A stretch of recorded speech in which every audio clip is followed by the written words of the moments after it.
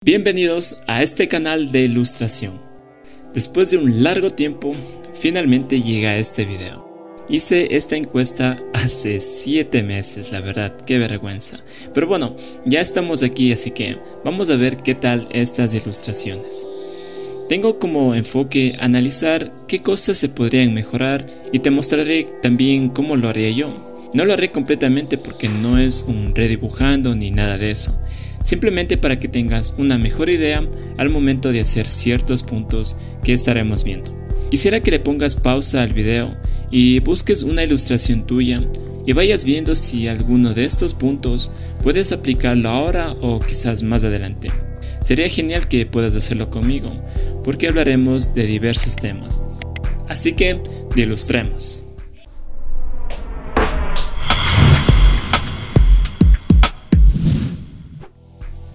Voy a abrir la primera ilustración que me enviaron, que es esta de aquí. Y como primer punto que podríamos tener en cuenta es sobre el orden de las capas. En este caso vemos que hay demasiadas capas, así que yo lo que te sugiero es que siempre haya un orden. Voy a hacerlo un poco más grande para que podamos ver esto. Siempre que estamos haciendo un punto en concreto, todo eso va a estar en una sola capa. Por ejemplo, en el caso del delineado, todo el delineado debería estar en esa capa. Así que como primer punto puedes tener en cuenta el orden, ya que si después quieres modificar algo te será más fácil que todo esté bien organizado. Muy bien, aquí ya le ordené un poco mejor. Como te digo, cada punto que estemos trabajando queremos que todo ese punto se centre solamente en una capa. Otro punto que también veo aquí es el delineado. Como te había mencionado en el tutorial, es bueno que puedas jugar mucho con el grosor de los trazos. En este caso vemos que todos los trazos tienen un mismo grosor. Así que para darle un poco más de dinamismo a la ilustración, siempre pruébate a jugar con el grosor de los trazos. Aquí puedes ver cómo le agregué algunos detalles, no los agregué muchos. Le agregué más detalles en el caso de la oreja. Y eso ayuda muchísimo al momento de sombrear porque ya tienes guías en donde puedes agregar sombras. Por eso los detalles en el delineado ayudan muchísimo a, que podamos trabajarle más la ilustración. También se puede mejorar mucho en el caso del color base. Por ejemplo, si vemos aquí la, la imagen original, vemos que el color de piel de él es un poquito más claro. Entonces lo que haríamos es usando una herramienta que les recomiendo que lo usen siempre. Para ello vamos a seleccionar el color de piel y nos vamos a edición, editar colores, volver a colorear con ajustes preestablecidos y armonía de color. Pues aquí podemos ya jugar con estos intervalos. Y si notas en este caso aquí se ve que hay mucha oscuridad. Si le ampliamos ya empieza a mejorar más el color. Pero yo les recomiendo que jueguen mucho con estos dos, tanto con la intensidad como con la luz, que vayan probando y de vez en cuando pueden ir incluso ir jugando con este de aquí también que no sea muy amarillo porque a veces he visto ilustraciones que se ven muy amarillas. Entonces pruébate a usar esta herramienta para darle un toque más interesante. Y esta herramienta que usamos también nos puede servir para las sombras. Por ejemplo activamos sombras 1 y vemos que estas sombras se ven muy oscuras. Lo que hacemos seleccionamos todo y aquí podemos ir jugando nuevamente con estos intervalos.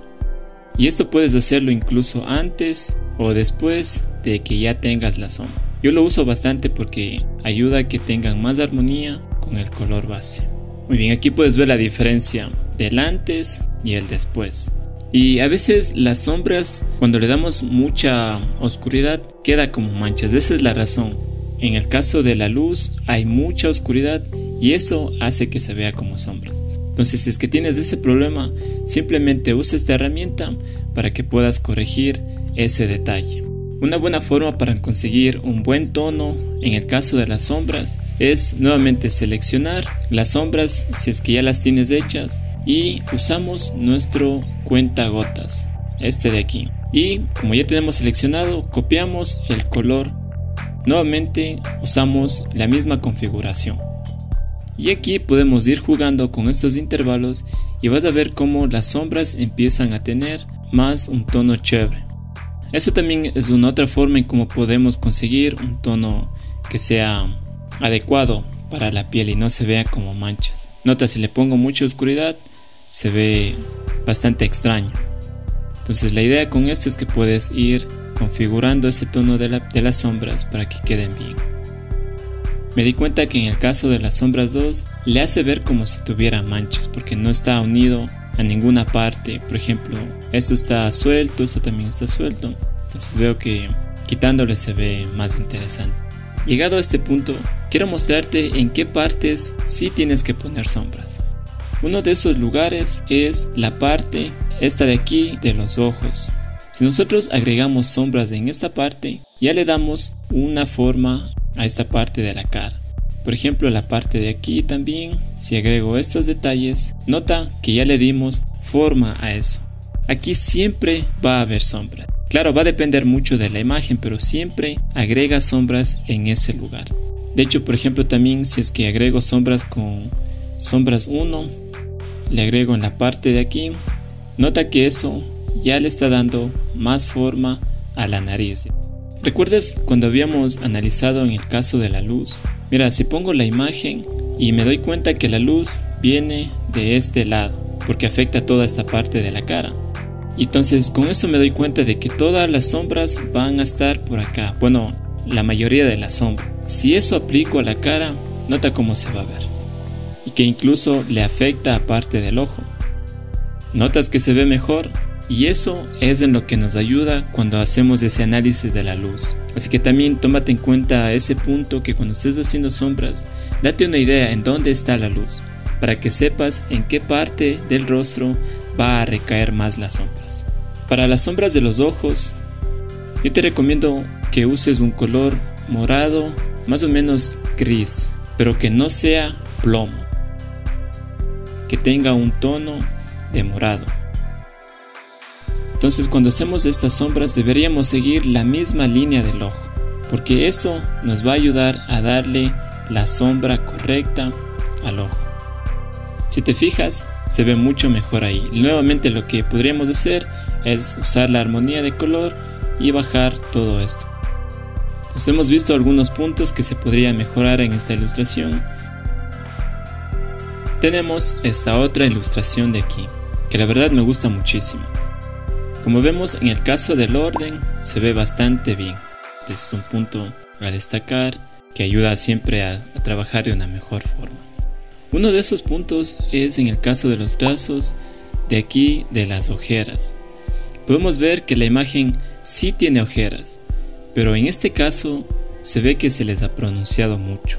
Y eso hay que tener cuidado para que el personaje no se vea muy ojeroso. Por ejemplo, si es que elimino estos trazos de aquí y los hago ligeramente más pequeños, claro, esta sombra de acá le hace ver que tiene esas ojeras.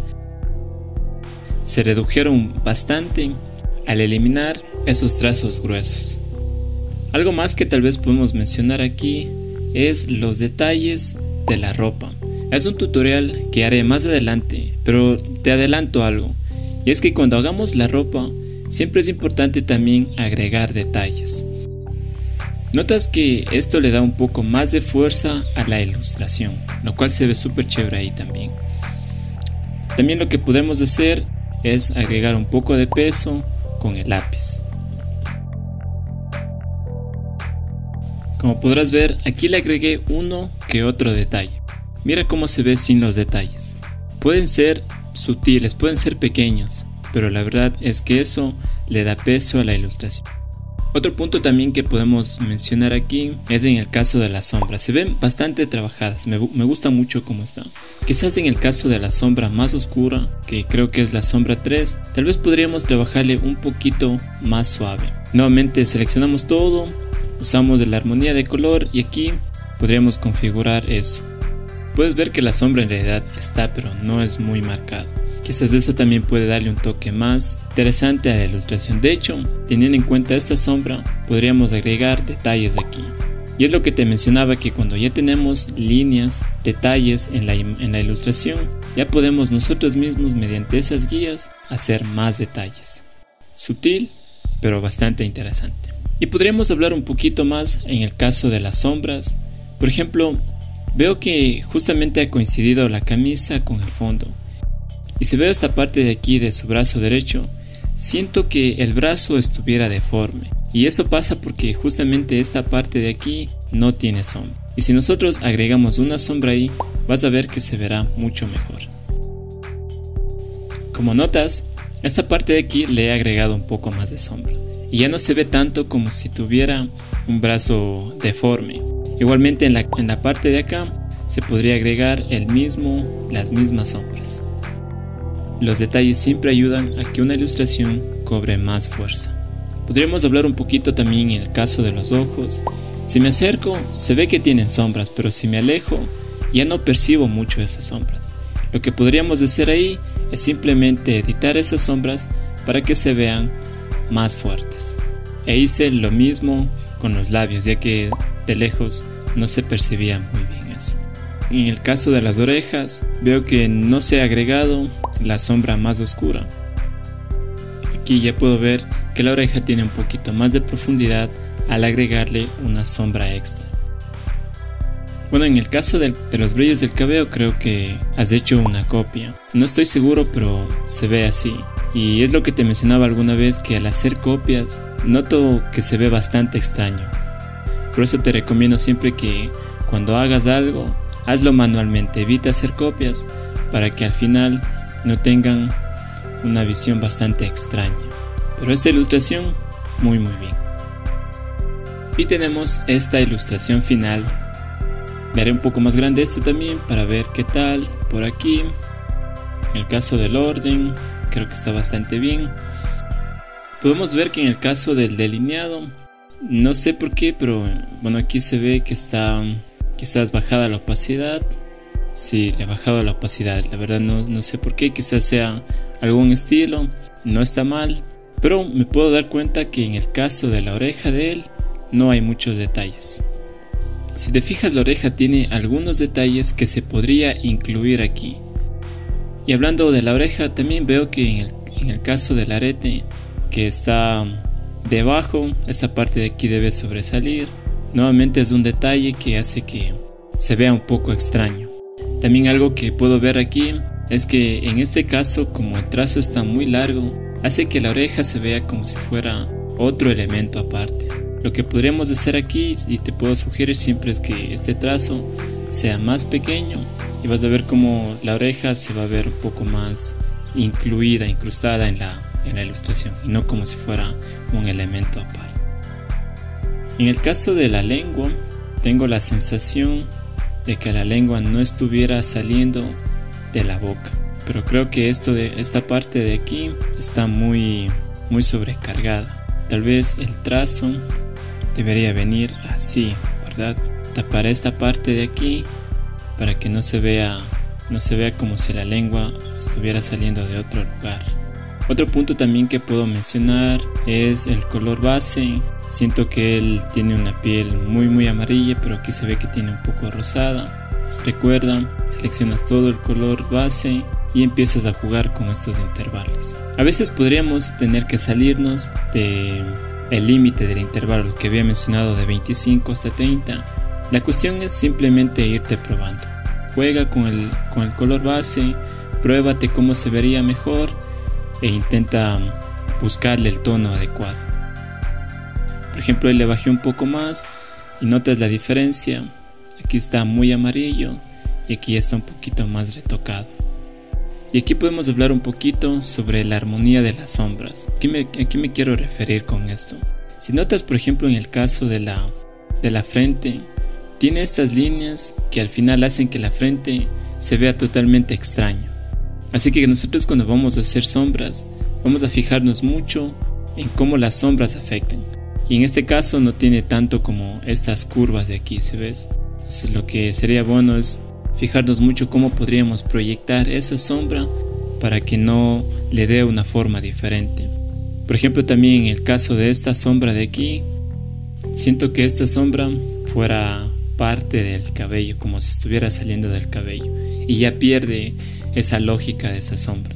A eso me refiero como cuando hagas una sombra, eh, aléjate y veré si es que esa sombra tiene armonía con el resto de la ilustración. Igualmente puedo notar que en el caso de, las, de la oreja le faltan muchas sombras que se podrían agregar y eso se podría agregar si es que tuviera más detalles. Si yo le agregara esos detalles, ya podría darle más dinamismo a la ilustración. Quizás con estos trazos yo ya puedo jugar mejor con las sombras, porque ya tengo una guía, una idea de dónde podrían venir esas sombras. Igualmente en el caso del collar, normalmente siempre va a incluirse una sombra.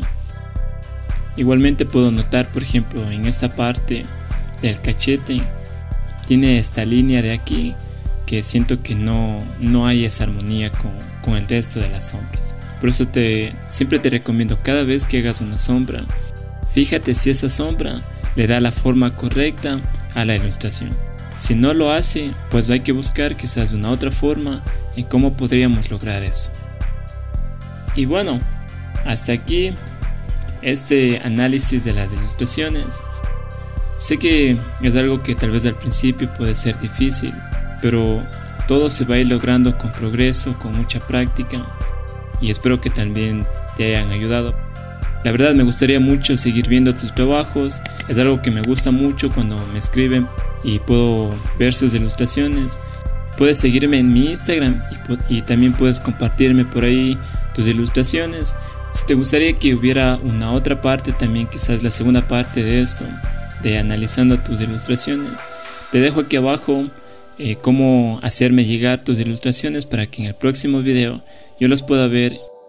Te agradezco mucho por ver este video. Coméntame qué te han parecido estas ilustraciones y ya nos vemos estar viendo muy pronto. Soy de Ilustrare.